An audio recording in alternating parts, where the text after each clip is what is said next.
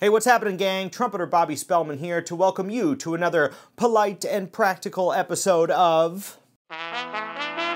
Trumpet with Bob!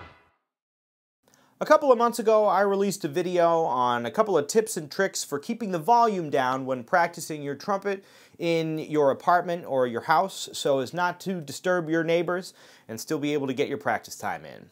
That video did better than expected, and I think there's a lot of you out there who are trying to figure out the best ways to practice so as to not disturb the people around you, to make sure that you really get the time in and you can spend the proper time playing the trumpet at home.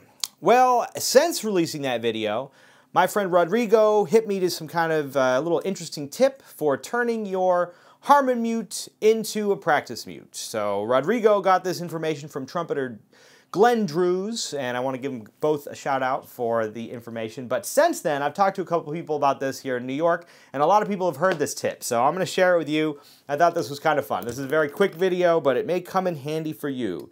Not everybody has a practice mute, and sometimes they can be very stuffy and difficult to play and uh, you know this will just give you the opportunity to just take your regular old Harmon mute and make it even a little bit quieter. So my biggest recommendation from the first video on practicing your, in your apartment was to use a Harmon mute. The Harmon mute will cut your sound down quite a bit. It sounds beautiful. It doesn't sound typically much louder than just watching TV in your apartment and sometimes your neighbors will think that Miles Davis is in the other room serenading them while they're trying to go to sleep.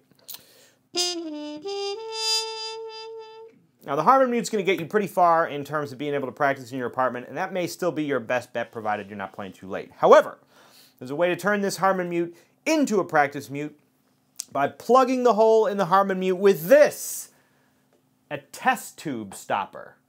Now, if you're not a scientist, and I'm not a scientist, you probably don't run into these very often, but a test tube stopper is a rubber, exactly what it sounds like, stopper to a test tube. It's got a tiny little hole in it right there uh, presumably so that you can get the chemicals in and out of the test tube at your free discretion in the lab.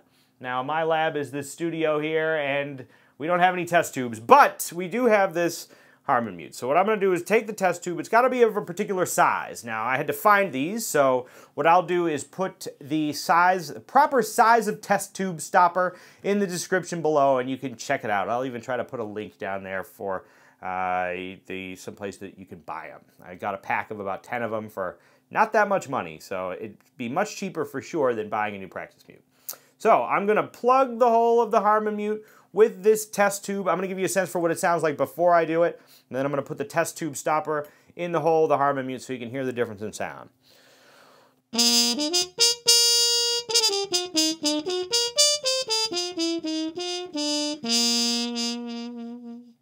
Now, with the test tube stopper, all I'm doing is boop, just plug in the hole of the Harmon mute with the test tube stopper, and that's going to reduce the sound to this.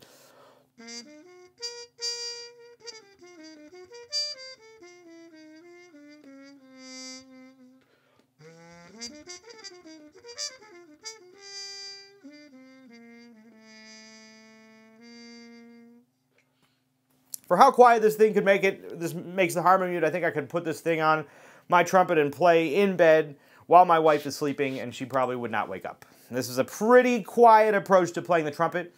And if you're thinking to yourself, hey, doesn't that cause a lot of back pressure? Well, yes, it does. And I tried to open up this hole a little bit with a drill and see if I could open it up a little bit.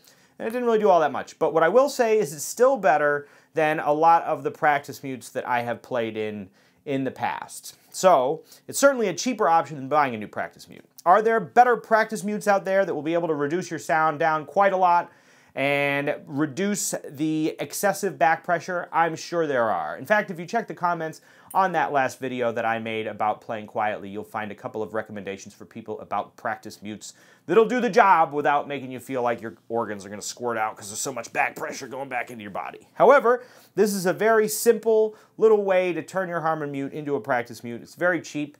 And honestly, there's much less back pressure than many of the other practice mutes that I've used. So there's a very fast little tip for turning your Harmon mute into a practice mute, getting a lot less sound out of it, and enabling yourself to be able to play late into the night and get all those routines, those practice routines in without disturbing your neighbors or your wife or your dog or anybody else who happens to be around. So one more time, big thanks to Rodrigo and to Glenn Drewes for hitting me to this idea about how to plug up your Harmon mute with a test tube stopper. I'll put a link in the description below and you can check that out for yourself. All right, gang, thanks for checking out another video here. If you liked the video, be sure to hit the like button and subscribe to the channel. And if you've got any ideas of certain things that you've been working on that you'd like to learn a little bit more about in the trumpet realm, be sure to leave them in the comments below and I'll try to get to them and uh, cover some new topics every week here on the Ridgewood School of Music YouTube page. Happy practicing, gang, and we'll see you next time.